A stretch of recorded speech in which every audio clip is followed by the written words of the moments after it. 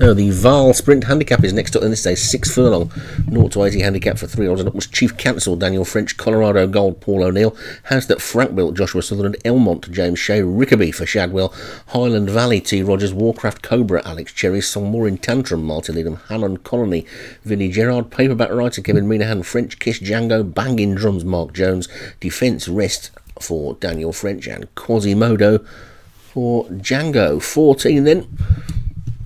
And they're all in. And away they go. Closest to us, Quasimodo was quickly away. So to French Kiss and Warcraft Cobra. Right over on the far side, uh, Chief Council's also had a bit of early pace. Highland Valley and Soul in Tantrum are the two slow to go.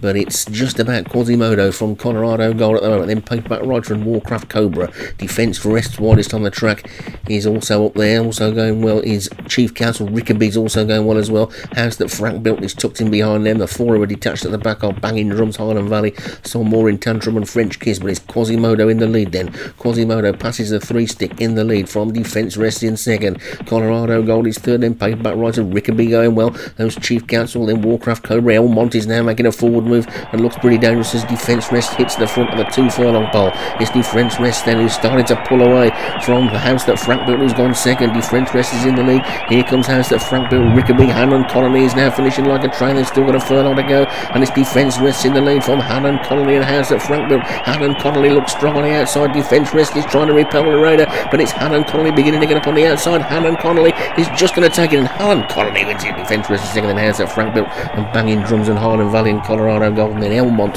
Rickaby was after that one, and it was a blistering turn of foot by both of those front two. Really, the Stewards inquiry as well.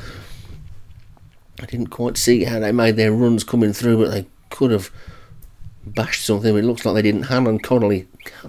Hannon Colony takes it, not Billy Connolly. Hannon Colony. Vinnie Gerard is the winner. Defence rests for Daniel French second. House that Frank built Joshua Sutherland was third.